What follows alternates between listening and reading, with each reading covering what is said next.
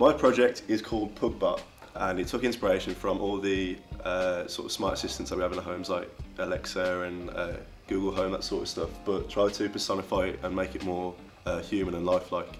Uh, so the project consists of um, a AI uh, using RiveScript. Uh, that's just got real basic functionality, but I wanted it, it eventually to be really complex, like on the level of Alexa and that sort of stuff.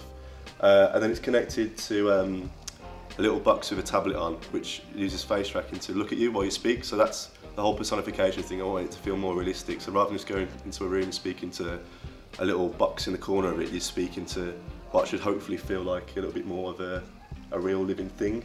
Uh, and then as you speak, you can see on the tablet it shows some sort of waveforms just to show like it's um, listening to you. And that's my project, yeah. You're speaking to Pugbot. How can I help? Hello, Hi, how are you? I'm good. Pleased to hear it. How old are you? 19 billion, 205 million, 810,000, 567 years old. What's the weather in Coventry? It's not looking good in Coventry at the moment. Set an alarm for 10 pm. Okay, an alarm set for 10 pm.